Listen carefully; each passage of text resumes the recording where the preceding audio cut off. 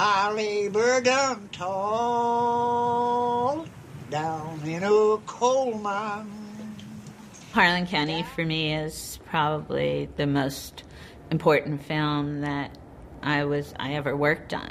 Um, it taught me so much about life. It taught me so much about what it means to really go after the things that you believe in, and it made me as a person incredibly strong. And it molded friendships with me and the coal miners and the women that I think will last as long as we do. The people that I worked with were extraordinary. And I just worked with the greatest people who just hung with me and got beautiful stuff. 1972, Barbara approached me with the the uh, the idea of beginning to shoot uh, a film about the then early stages of the Arnold Miller kind of insurgent campaign for the presidency of the United Mine Workers.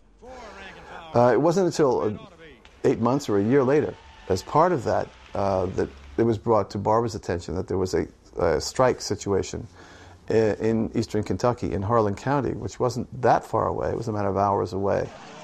We were really getting banged down there pretty bad by the state police and the company and the courts and, and all that. And uh, the union told us that uh, there was a camera crew coming in and would probably be on our side. And so uh, when Barbara and them come up through there, it was a welcome inside. But they looked, they they kind of fit in. They looked like they were poorer than we were.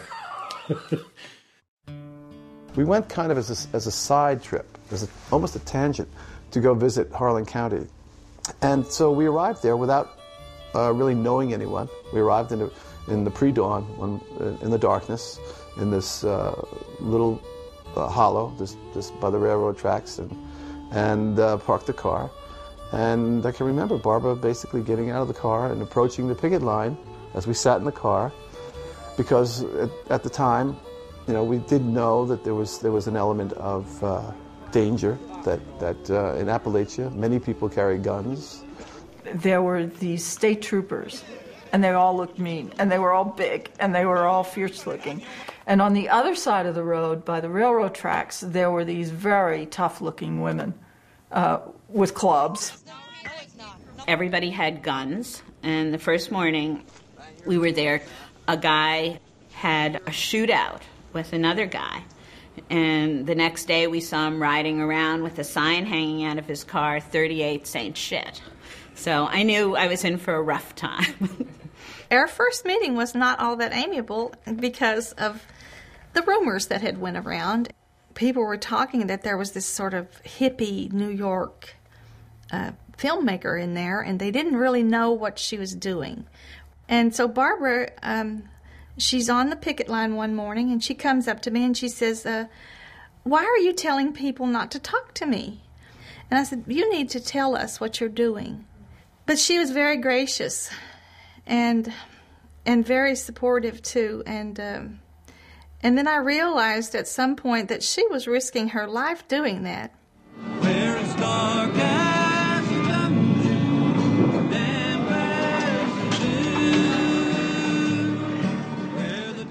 I feel attached to the beginning of the film. Uh, after several months of filming, I realized we didn't really have too much coal mining. And after all, this is a documentary about coal miners. Uh, I did study geology at Columbia. So I approached a local mine operation, explained that I was interested in, uh, you know, the coal mining and how it worked. And uh, they let us film in the mine. It's low coal, we were a mile uh, underground. I never heard anyone in my family say they loved coal mining they just did it. That's what there was to do. And uh, so there was nothing to like about working really, really in harsh conditions, having people dying around you, and and uh, not making enough money. No, nothing to like about that. You just had to do it. She's not done nothing but cause trouble. You know, you make me sick. Well, you, you make, make me sick. One of my favorite scenes is in the uh, the women's club at a low point in the in the strike, and they're arguing about with Susan Sudie Crusenberry uh, about men. I don't care who takes whose man, who lives with whose man, or what they do. If they can take mine and take him on, they can have him. I'll shed no tears. I'm not after a man. I'm after a contract. I'm raising two boys. That sort of window uh, doesn't happen very often to be able to, to film like that. And to film a heroic story of a struggle. Because oftentimes bad things happen.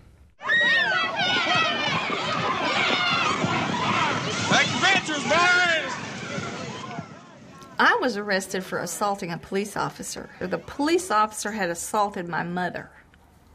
And I jumped on his back and then I started kicking him and getting him off my mother. They they went to jail for a day or a day. They were released and then we were um, uh, to appear in court. In the film where you see me making a speech, you probably see the back of my head or whatever, and I'm talking about how the laws were not made for the working people in this country. Barbara had asked me to clip a mic, and it was some kind of remote mic because I didn't have any wires attached. But I can remember hiding that mic so that Barbara could get the courtroom scene because they would not allow her in. I opened the doors slightly and was able to get a shot. It's not, yeah, it's very uh, low light, it's very grainy, but it's still the shot of what happened. I knew what I was doing at Brookside because that's what I wanted to do. For once, I was able to take the offensive instead of coming down here to take a step backward to try to defend what we did. What we did is right, and we all know that. Growing up in New York City, we've got to spread the news. Been fighting hard for many months, and we're not about to lose. Which side are you on, boys? Which side are you on? Tunnels here is just like a mine's. Yeah. Only ours is about 42 inches high. Jerry Johnson had on a wireless microphone, which was underneath the placard he's wearing uh, on the picket line. You know, you're the fly on the wall for a moment, and you have this, this marvelous exchange between these two guys. I thought you guys got paid a little more than you do. You don't Well- get paid a bad salary, but I thought it was a little We get paid real good. No, it's not. Uh, w- but, you know, What's real good? look, Five dollars, six dollars an hour? Yeah, That's we- not real good. I mean, this is the moment, the proletarian moment, when two guys, they're talking to each other and they go within sentences deep into what's important, so important to both of them. I can retire at 36. Half pay. 10000 a year. Well, now they don't want us to ever be able to retire. That's bad. That's the reason we're here. You know, that's the reason we're on strike. What they were doing, they were getting prisoners out, out of jail early on parole and bringing some of them in. And some of these people with pretty bad crimes, you know, rape and all kinds of stuff. They were bringing them in, so we we wouldn't have enough people to stop them. Basil Collins, uh, he made his, he built his reputation on uh, busting picket lines. I suppose the old man is dead by now, and I hate to say I don't miss him at all if he is, but uh, he he hurt a lot of people. He and his attitude, and he hurt a lot of working people. I think Barbara made Basil famous for sure. Uh, the women and I were, and Kevin were on the picket line. And this time, Basil Collins stopped in his truck. What? I'll smile real pretty for you. Come over here and we'll talk to you. And so I walked over and I looked at him. I looked at the guy sitting there next to him. And in the middle between them was a gun that he just kept twirling as he was talking to me. So I saw it, but I just kept looking right at his face.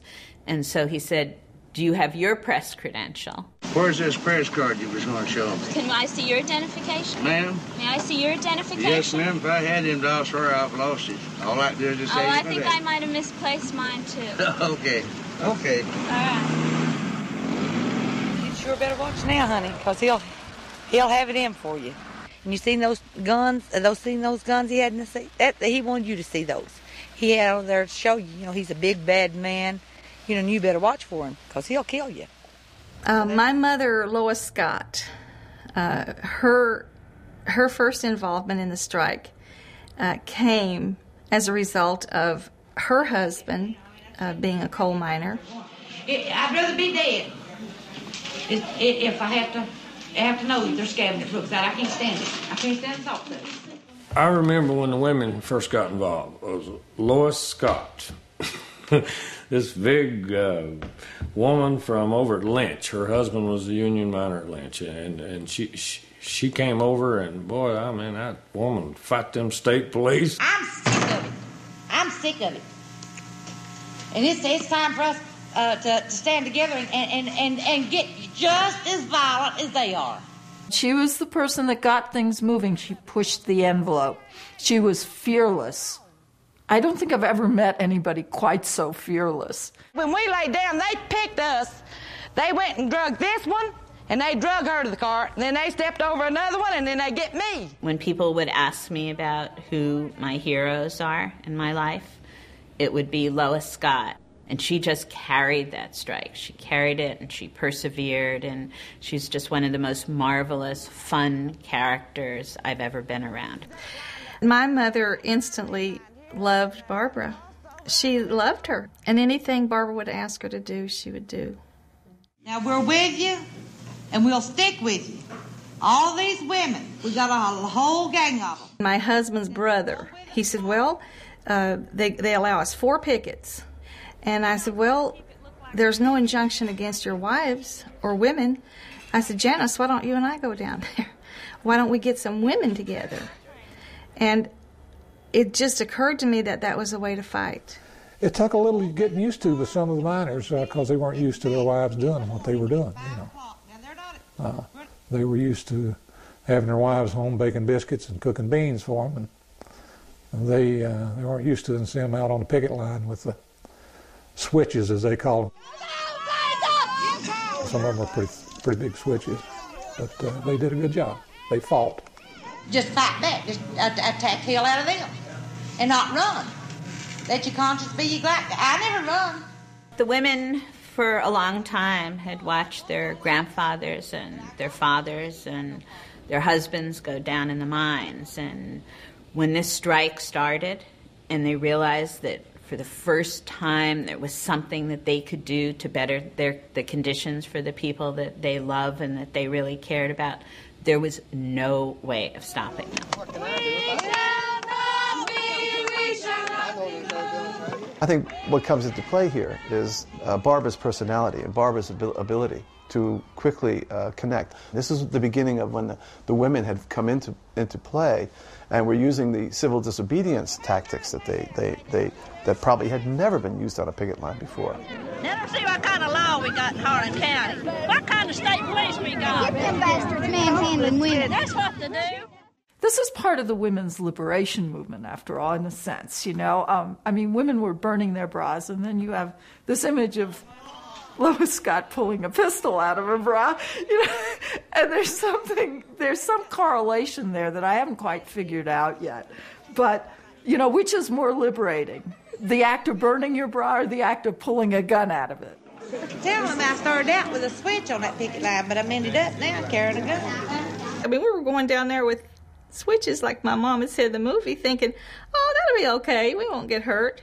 And yeah. And they brought machine guns out. Or there was a point where they brought a machine gun out us, and everybody sort of took a collective gasp. On that day, my mother stood up, and there was still gunfire. There was still gunfire ringing off of the, of the rocks. And she stood up and she says, I'm not afraid of you, Basil. And bring him on. Mom, get behind the car. They're shooting. Uh, but they quit shooting. And that was the day that, that they came and they beat Barbara. The screams that you hear in that scene are um, a woman named Marilyn. Marilyn was an intern with the Black Lung Association. She was a young lawyer, and she didn't know what to do. So she began screaming. So I set up my camera position with Ann right at the point where the caravan of cars would have to take a sharp right turn and go over a narrow bridge over ravine to get into the mine. And Ann, Ann pointed the light, so it was, of course, directly in the eyes of the oncoming cars. And I guess that's what Basil Collins thought, because he pulled up, rolled down his window, and as I was filming it, I was thinking, he's pointing a 45 pistol at me. We looked in the distance, and there was this horde of scabs coming across the bridge with clubs. Actually, they went straight for Barbara, Hart, and Ann. One of the first things they did was knock me down, knock out the lights, so then you see everything in darkness. Barbara was swinging her microphone at people, and Hart got knocked down, and the whole thing was pretty messy. They just came, plowed right through me, got Hart, got Ann. All of us were separated. They were kicking me, um, but I couldn't really feel it because I had the Nagra from here to here. So just the plastic casing on the top, and I had my mic and I was swinging it at them and.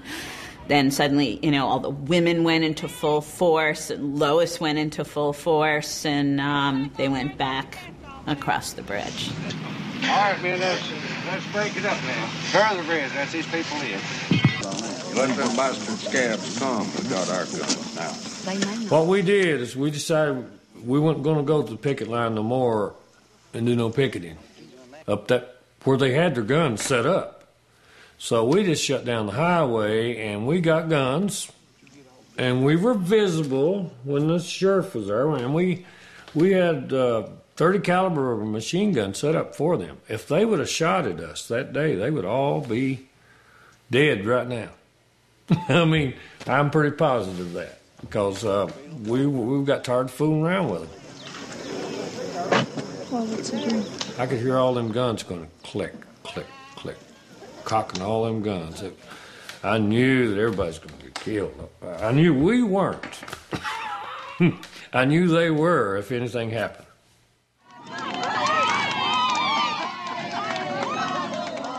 That was a turning point. That was the last time they ever tried to come up that road. When Lawrence Jones was killed, we were having lunch with Houston Elmore, and he got a call that there had been a, uh, a shooting. So we immediately went over to the uh, to the hospital.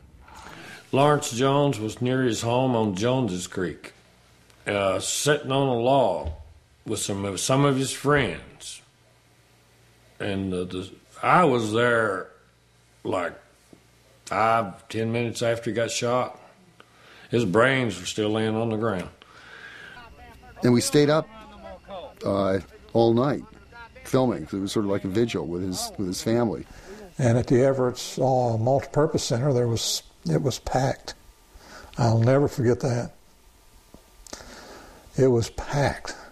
It was standing room, people standing outside looking in the windows. And the thing I remember about it, they were there to go to war. There's plenty of big trees down there, and there's plenty of high-powered rifles. And I've seen men get right out the open, so I, I tell everybody, take the shelter if you can and lay the lead to them. So we had more people at that on that line at that morning than we ever had, and uh, they were going to avenge, I guess, avenge Lawrence Jones's death. They were going to end the strike one way or the other, and it was a very serious time. But we were swept along, you know, we were swept along, and that felt like all we could do. And I think if we ever did hold our peace, let's try to hold it tonight. The price has been paid for it.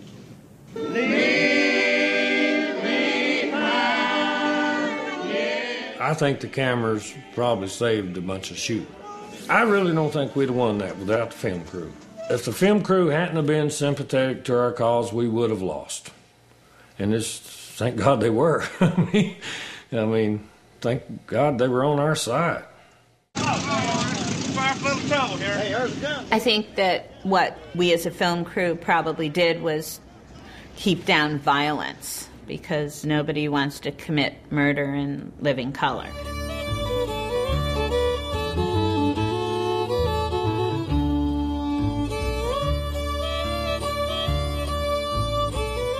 And I remember when it said Harlan County, the people on either side of me just sort of pushed me up, and um, I could feel my heart sort of beating in the room. And right after that moment, the first call that I made was to Harlan County, and the people were screaming and yelling, and I could hear them, We won an award, we won an award. And they were running around, and um, Lois told me they got in their cars and were honking all over, you know, Harlan County. We won, we won. I mean, it was just the greatest moment. It may be one of the best documentaries ever made. It's shocking to meet these characters to see this, this, this human struggle, this endeavor as it happened, is a wonderful experience.